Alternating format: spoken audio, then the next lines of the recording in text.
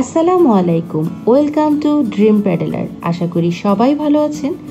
আজ আমি তৈরি করে দেখাবো নাচোস। নাচোস আমাদের সবারই খুব পছন্দের। বিভিন্ন সময় এই নাচোস আমরা বিভিন্ন রেস্টুরেন্টে গিয়ে খেয়ে থাকি। কিন্তু এই মজাদার নাচোসটি যদি বাসায় তৈরি করা যায়, তাহলে তো কোনো কথাই নেই। চলুন দেখিয়ে দিচ্ছি এই মজাদার নাচোসটি কীভাবে ঝটপট বাসায় তৈরি করে নেবেন।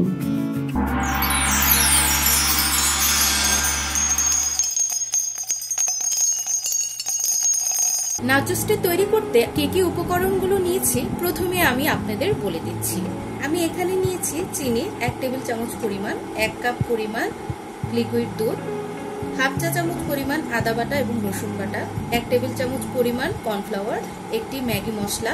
ম্যাগি মশলা না থাকলে সেক্ষেত্রে আপনারা যে কোনো কাবাব মশলা ব্যবহার করতে পারবেন। এখানে নিয়েছি পরিমাণ মতো লবণ, সয়াবিন তেল, এক টেবিল চামচ পরিমাণ হাফ চা চামচ পরিমাণ গোলমরিচ গুঁড়ো, নিয়েছি এক চা চামচ পরিমাণ সয়া সস। এখানে আমি এক কাপ পরিমাণ নিয়েছি বাটার। আমি এক টেবিল চামচ পরিমাণ বাটার ব্যবহার করব, পরিমাণ মতো পানি, এক টেবিল চামচ পরিমাণ টমেটো সস, হাফ চা চামচ পরিমাণ chilli flakes, mozzarella cheese mayonnaise এবং এক কাপ পরিমাণ ময়দা। এখানে আমি নিয়েছি এক কাপ পরিমাণ মুরগি। আমি এখানে মুরগি ছোট করে কেটে নিয়েছি। এখন আমি প্রথমেই নাচোজের চিপস তৈরি করব। আর নাচোজের চিপস তৈরি করতে প্রথমে আমাকে ডোটি তৈরি করতে হবে। চলুন আমি এখন দেখিয়ে দিচ্ছি আপনাদের ডোটি তৈরি করে। এখন নাচোসের চিপসটি তৈরি করার জন্য আমি একটি ডো তৈরি করব। তো প্রথমে আমি একটি বাটিতে এক কাপ পরিমাণ ময়দা নিয়ে নিয়েছি। তারপর আমি দিয়ে দিব এক টেবিল চামচ পরিমাণ কর্নফ্লাওয়ার। এক টেবিল চামচ পরিমাণ সয়াবিন তেল। পরিমাণ মতো লবণ। সবগুলো উপকরণ দিয়ে দেবার পর আমি একটু মাখিয়ে নিচ্ছি।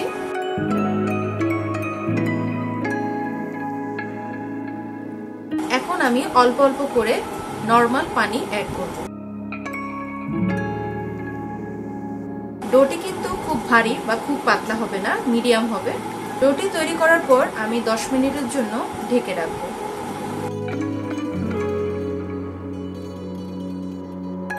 এভাবে করে ভালোভাবে মথে নিতে হবে। আমার ডোটি তৈরি হয়ে গিয়েছে। খুব নাচস তৈরি করার জন্য মুরগির মাংসটি আমি ম্যারিনেট করে নিব। আমি একটি বাটিতে মুরগির মাংসগুলো নিয়ে নিলাম। এখন আমি দিয়ে দিব চিলি ফ্লেক্স। তারপর দিয়ে দিচ্ছি টমেটো সস। দিয়ে দিচ্ছি আদা বাটা এবং রসুন বাটা, সয়া সস, ম্যাগি মশলা। সবকিছু দিয়ে আমি এখন ভালো করে মাখিয়ে নিচ্ছি। মাখিয়ে নেবার পর আমি নর্মাল ফ্রিজে ২০ মিনিটের জন্য রেখে দিব।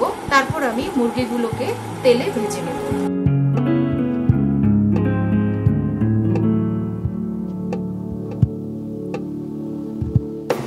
আমার মুরগিগুলো মাখানো হয়ে গিয়েছে। আমি এখন চিপসগুলো তৈরি করে আপনাদের দেখাচ্ছি। চিপস তৈরি করার জন্য আমি রুটি বেলে নিয়েছি। রুটিটি এমন পাতলা হতে হবে, তারপরে পিজা কাটার বা ছুরির মাধ্যমে এভাবে করে কেটে নেবেন পিস করে। তারপর কাটা চামচ দিয়ে এভাবে ছিদ্র করে নেবেন। এতে করে যখন চিপসগুলো ভাজতে যাবেন, এগুলো ফেপে যাবে না ফুচকার মতো। দেখা যাবে যে এভাবে ছিদ্র না করলে সেই ক্ষেত্রে তেলে দেবার পর ফুচকার মতো ফুলে যেতে পারে। তাই কাটা চামচ দিয়ে সবগুলো এভাবে ছিদ্র করে নেবেন। চিপস তো আসলে কখনো ফাঁপা হয় না, তাই না? সো সেই ক্ষেত্রে কি করতে হবে? এভাবে কাটা চামচ দিয়ে সবগুলো ছিদ্র করে নিতে হবে। এখন আমি ডুবো তেলে এই চিপসগুলো ভেজে নিচ্ছি।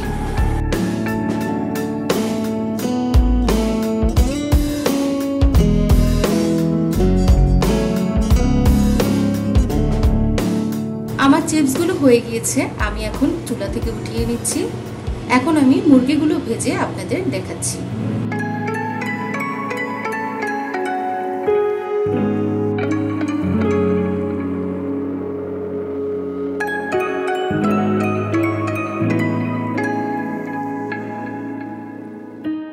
আমি এখন মিডিয়াম আঁচে মাংসটি অনবরত নেড়ে ভেজে নেব। আমি এখানে তিন টেবিল চামচ পরিমাণ সয়াবিন তেল ব্যবহার করেছি। তেল যেহেতু এখানে আমি কম দিয়েছি, সেক্ষেত্রে আপনারা অনবরত নাড়তে থাকবেন।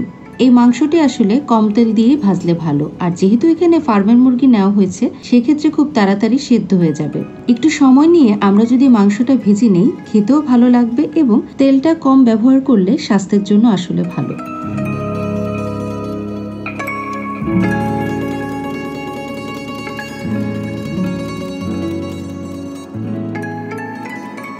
আমার মাংসগুলো ভাজা হয়ে গিয়েছে, আমি এখন চুলা থেকে উঠিয়ে নিচ্ছি। তারপর আমি দেখিয়ে দিচ্ছি কীভাবে নাচোসের সসটি তৈরি করবেন। সস তৈরি করতে প্রথমে আমি একটি প্যানে দিয়ে দিব বাটার। বাটারটি গলে আসলে আমি দিয়ে দিব ময়দা।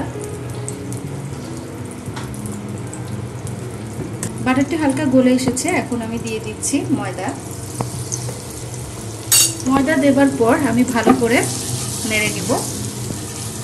এই সসটি যখন তৈরি করবেন, মিডিয়াম থেকে লো হিটে তৈরি করবেন। ময়দার কালারটি একটু চেঞ্জ হয়ে যাওয়ার পর আমি দিয়ে দিব লিকুইড দুধ।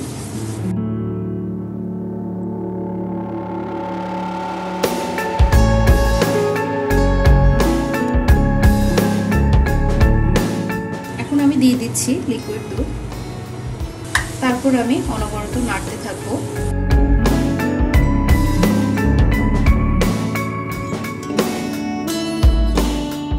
এখন আমি দিয়ে দিচ্ছি গোলমরিচ গুঁড়ো। তারপর আমি দিব পরিমাণ মতো লবণ।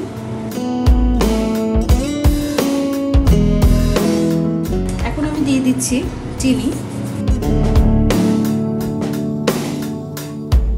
আপনারা দেখতে পাচ্ছেন অলরেডি কিন্তু আমার সসটি ঘন হয়ে এসেছে।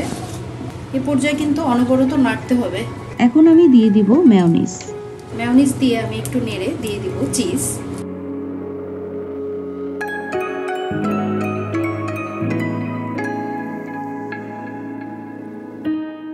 সসটা যদি বেশি ঘন হয়ে যায়, সেক্ষেত্রে আপনারা চুলার হিট কমিয়ে দিতে পারেন বা বন্ধ করে সবগুলো উপকরণ মিশিয়ে তারপরে চুলার হিট আবার জ্বালিয়ে নেড়ে নিতে পারেন।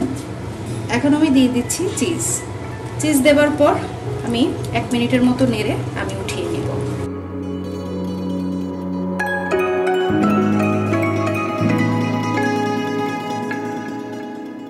সব কিছু তৈরি করে নিয়েছি। এখন পরিবেশনের পালা। দেখতে পাচ্ছেন, আমি এখানে চিপসগুলো ভেজে নিয়েছি তিনটি কালারের। একটু বেশি ডিপ, একটু হালকা ডিপ, আর একটু হালকা ডিপ। তো আমি এভাবে স্টেপ বাই স্টেপ সাজিয়ে নিচ্ছি।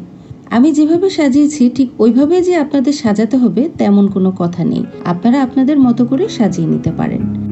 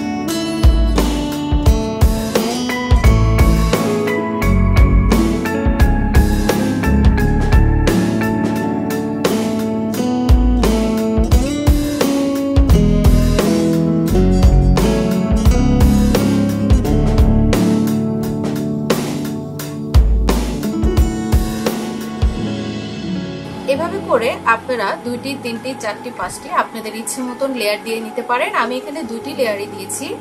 বাস, তৈরি হয়ে গেল আমার নাচোস আর দুটি কথা বলব, সেটি হচ্ছে আমি এখানে যে হোয়াইট সসটি বানিয়েছি, এটি আপনারা দুই, তিন দিনের জন্য ফ্রিজে রেখে সংরক্ষণ করে রাখতে পারেন। আর আমি যে চিপস তৈরি করেছি, এই চিপসগুলোও কিন্তু আপনারা দুই, তিন দিনের জন্য এয়ারটাইট বক্সে রেখে দিতে পারেন। এভাবে করে খুব সহজেই বাসায় নাচোস তৈরি করে ফেলতে পারবেন। আশা করি আমার এই রেসিপিটি আপনাদের অনেক ভালো লেগেছে। যদি ভালো লেগে থাকে, অবশ্যই বাসায় ট্রাই করবেন এবং কেমন লেগেছে আমাকে কমেন্ট করে জানাবেন। যদি ভালো লেগে থাকে, অবশ্যই লাইক কমেন্ট শেয়ার করতে ভুলবেন না। আমার চ্যানেলটি সাবস্ক্রাইব করবেন। আজকের মতো বিদায় নিচ্ছি। আল্লাহ হাফেজ।